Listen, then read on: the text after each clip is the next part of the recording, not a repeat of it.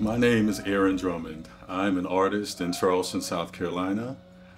Uh, for 20 years, I have been painting about the low country experience, and I got that inspiration by managing the Chuma Gullah Gallery.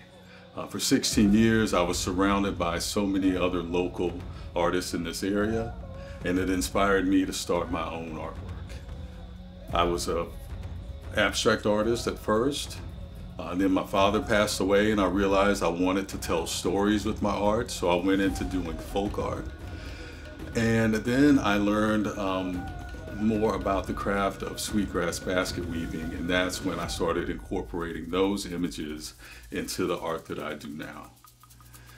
Um, when, when I realized I had this platform, I knew that I could paint art and do artwork that had um, a beautiful aesthetic but I also wanted to make sure that my art had a purpose. So I incorporate a lot of symbolism into the work that you'll see um, as I show the work later on.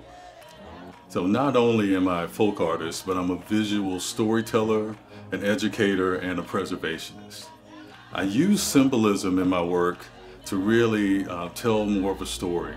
I know that folk art is very simple, but I want you to look beyond the simplicity and understand that we all have a unique story to tell.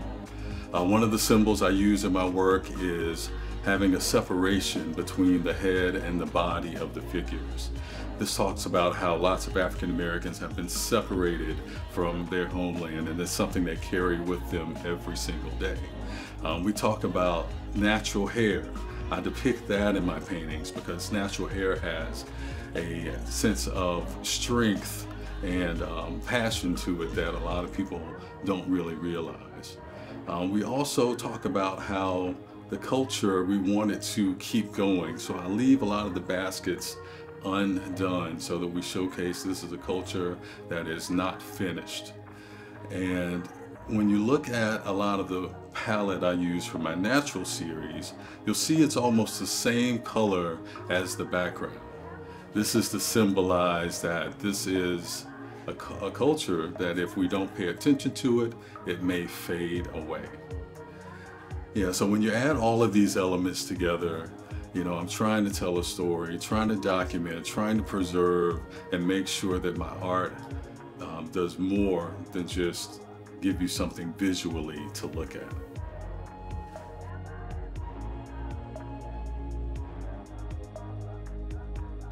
Fact, one thing I've noticed in the four years that I've been a vendor at the City Market is that my work isn't always accessible to everyone. So I'm trying to find new and inventive ways uh, to make it more accessible. So in 2024, I'm going to introduce my mixed media prints on canvas. They're going to be hand signed, they're going to have authentic baskets uh, along with them, but this is going to be a way that more people, that we can reach more people and continue telling our story. So Aaron, where are you going to, where you plan on showing uh, your, your uh, arts on, your prints on canvas?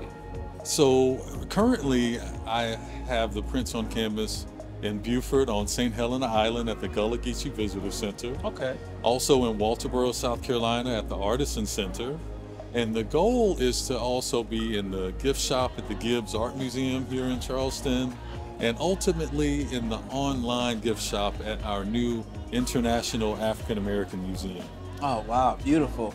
You know, having them both at the Gibbes and at the museum uh, really give your artwork greater exposure, ensuring that you know the culture never dies and that is preserved uh, forever.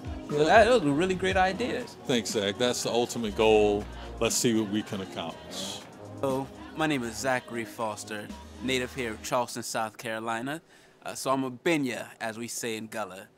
My great great great grandfather, Adam Bennett, actually arrived on Magnolia Gardens and Plantation, which was formerly a rice plantation, in 1865. Uh, my grandmother, remember my grandmother, who was also born on Magnolia Gardens uh, in 1934, would always tell me stories about her times on the gardens. Uh, so this culture, this Gullah culture, is very true to my heart. Uh, and I really appreciate the contribution that it's, uh, that it's made on uh, society as a whole. I met Aaron about 10 years ago at the Chuma Gullah Gallery. When I first met Aaron, I admired his passion of preserving this rich Gullah culture.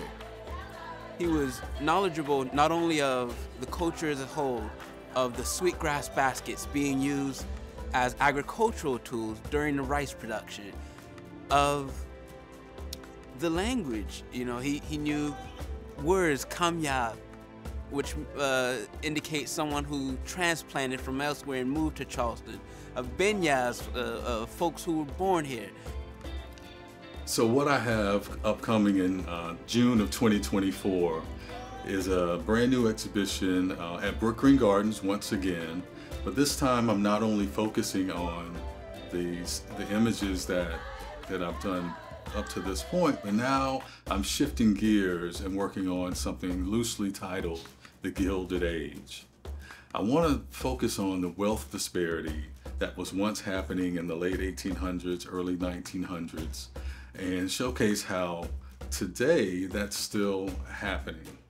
When you look at the gilded frames that I've been collecting for over six months and how I use my simple folk art images encapsulated in those frames, this is how I symbolize that disparity. You know, I want my art to not only uh, be used and seen visually, but I want it to start a conversation. And with those conversations, connect us and bring us closer together. You know, art is such a powerful uh, concept, and, and once I realized I had the power to affect people, I knew that my art had to have purpose.